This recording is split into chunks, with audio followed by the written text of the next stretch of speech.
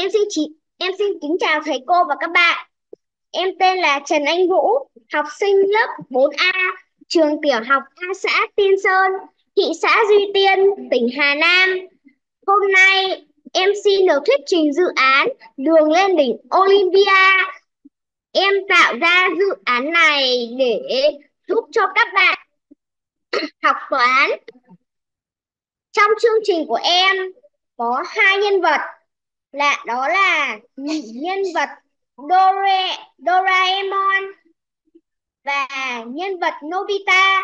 Nhân vật nhân vật Doraemon đóng vai trò là nhân vật hỏi, nhân vật nhân vật Nobita đóng vai trò là nhân vật trả lời.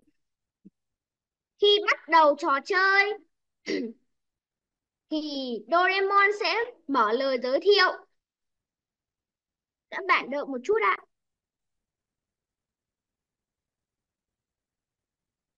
Khi bắt đầu, Doraemon sẽ hỏi, hỏi và các bạn phải giúp Nobita trả lời. Khi trả lời đúng, sẽ có một âm thanh. Âm thanh trả âm thanh khi trả lời đúng.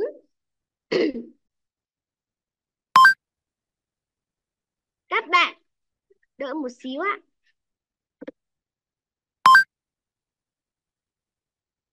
Khi trả lời sai, ờ, người ta sẽ phát ra một âm thanh. Âm thanh khác là sai. Em xin mời thầy cô và các bạn đợi một xíu ạ.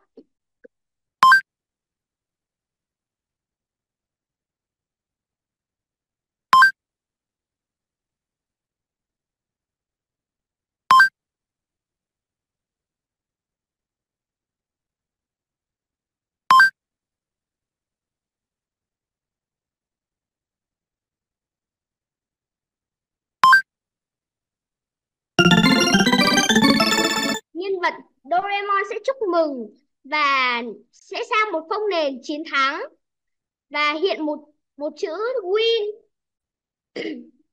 Một chữ win em trong trong quá trình làm bài, em đã gặp khó khăn trong trong việc lập trình bạn Nobita. Bạn Nobita di chuyển lên các bậc trong chương trình, em ấn tượng nhất là phần âm thanh. Âm thanh vì, âm thanh vì khi khi bắt đầu nó sẽ hiện ra. Còn khi mở, còn khi Doraemon mở lời giới thiệu thì nó sẽ ẩn đi. Em xin mời thầy, cô và các bạn nhận xét bài thuyết trình của em ạ.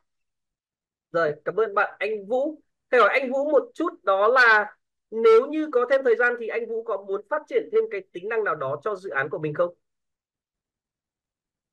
Dạ không ạ. À, mình cảm thấy cái này là ổn rồi đúng không? Dạ vâng ạ. Rồi, cảm ơn bạn à, anh Vũ về phần thuyết trình. Có cái để nguyên phần à, chia sẻ màn hình nhá.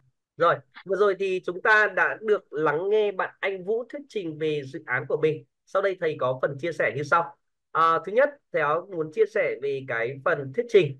Thì các bước thuyết trình ở đây theo thấy bạn anh Vũ thực hiện rất là tốt. Tuần tự từng bước một giống như cái phần mà thầy giáo đã hướng dẫn các bạn ở trong cái buổi học số 10 buổi học trước. Và phần thứ hai là về kỹ năng thuyết trình. Thì theo thấy bạn anh Vũ rất là tự tin, mạnh dạn chia sẻ về cái phần dự án. À nói khá là to, rõ ràng, mạch lạc. Rồi thầy khen bạn anh Vũ về phần thuyết trình nha. Phần nội dung thứ hai đó là thầy muốn chia sẻ về phần dự án. Thì phần dự án thầy có nhận xét như thế này về phần đồ họa trong phần bài dự án thì theo thấy là con bấm vào lá cờ màu xanh đi. Con phóng to hẳn dự án của mình lên. Đó về phần đồ họa trong cái phần dự án này thì theo thấy là con thiết kế rất là đẹp mắt. Phông nền này à, lấy các cái nhân vật trang trí cái phông nền này của con rất là đẹp. Phối màu tổng thể chung là cái phần đồ họa con thiết kế đẹp mắt. Thầy khen con về phần đồ họa nhá phần thứ hai đó là về cái trải nghiệm sử dụng sản phẩm và phần lập trình. Thì theo thấy là đây con đã tạo ra được một cái dự án học toán rất là tốt, khá là thú vị. Phần này tốt. Đánh giá tiếp theo đó là về phần sáng tạo. Ở đây thì theo thấy là con có khá nhiều sự sáng tạo. Sáng tạo thứ nhất, như thầy giáo góp ý ấy, nhận xét, đó là con đã sáng tạo được về phần phông nền, sáng tạo về phần nhân vật. Phần thứ hai đó là các bạn nhìn này, ở trong cái bài dự án mẫu của thầy thì thầy chỉ có, đó là một cái bài phép toán cộng rất là đơn giản. Nhưng ở đây thì bạn anh Vũ đã phát triển nó lên thành một cái bài toán phép toán cộng gồm có bốn số hạng cộng vào với nhau. Đúng không? Bài của thầy chỉ có hai thôi. Đó, tuy nhiên thì ở đây bạn đã tạo ra một cái phép toán gồm có bốn số hạng cộng lại với nhau. Rất là tốt.